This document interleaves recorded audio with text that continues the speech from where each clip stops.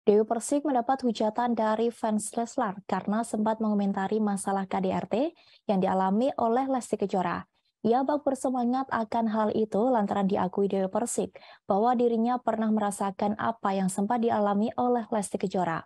Rupanya hal tersebut yang juga menjadi alasan dirinya bercerai dengan mantan suami pertamanya yakni Saipul Jamil. Alasan cerainya Deo Persik dengan Saipul Jamil di tahun 2008 silam karena adanya tindakan kekerasan dalam rumah tangga. Alasan cerainya dengan Saipul Jamil akibat KDRT diungkap Dewi Persik. Seusai melaporkan oknum fans Leslar ke Polres Metro Jakarta Selatan pada Senin 31 Oktober. Dewi Persik mengatakan bahwa selama ini banyak orang yang tidak mengetahui apa sebab dirinya bercerai dari mantan suaminya. Ia sempat merasa senang dengan aksi Lesti yang berani speak up terhadap masalah KDRT yang dialaminya. Sebab dahulu saat dirinya mengalami KDRT belum ada undang-undang terkait KDRT karena baru ada di tahun 2016. Lebih lanjut, pelantun mimpi indah ini membongkar bahwa ia memang pernah hamil anak Saipul Jamil.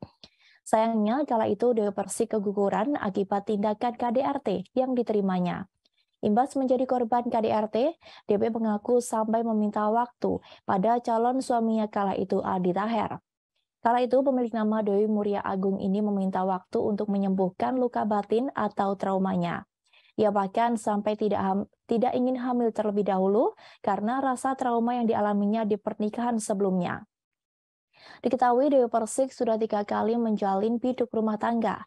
Ia menikah dengan pedangdut Saipul Jamil pada 26 Juni 2005 lalu.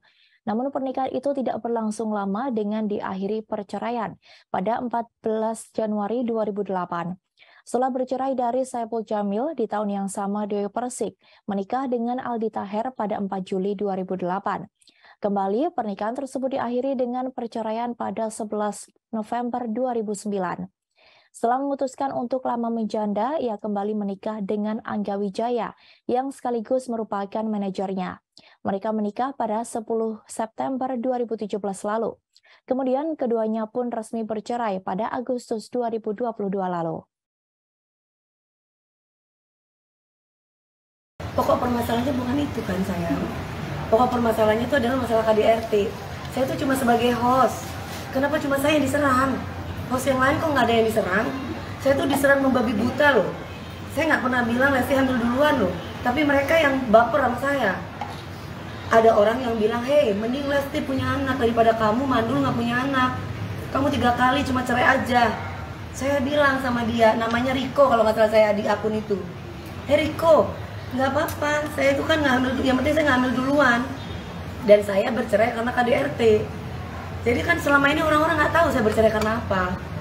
Makanya saya senang ketika Lesti itu bisa speak up mengenai KDRT karena zamannya saya dulu masih belum ada pasalnya belum ada undang-undangnya gitu kan 2016 baru ada ya bang? Bang mas iya bang Sandi. Gitu keberadaan adminnya udah ketahuan belum bang?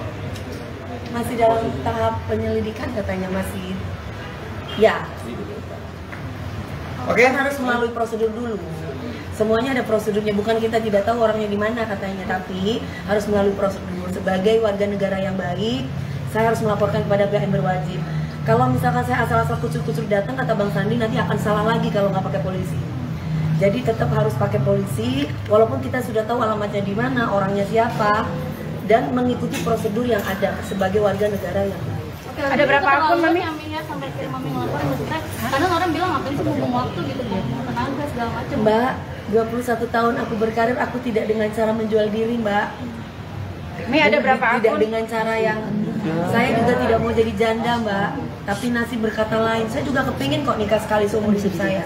Tapi kalau saya ketemu laki-laki yang mukulin saya, saya udah kerja loh pagi siang malam. Saya merasa saya merasa menyuarakan hati perempuan aja gitu. Bahwa saya nggak ngomongin Lesti lo ya saya ngomongin diri saya dari kemarin saya bicara tentang diri saya cuman kan namanya YouTube video itu kan apa clickbait namanya ya Dewi Persik ini Lesti gitu padahal saya nggak ngomongin dia kayak gitu terima kasih sudah nonton. Jangan lupa like subscribe dan share ya